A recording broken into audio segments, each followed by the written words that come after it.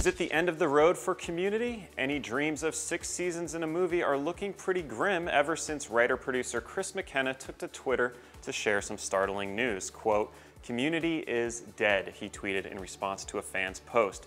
He later followed up saying that he may have been exaggerating about the NBC comedy getting the axe, but warned fans to, quote, prepare yourself for non-exaggeration. Would you be devastated to see Community get the boot? Sound off in the comments and stick with us for more TV scoop from Celebified.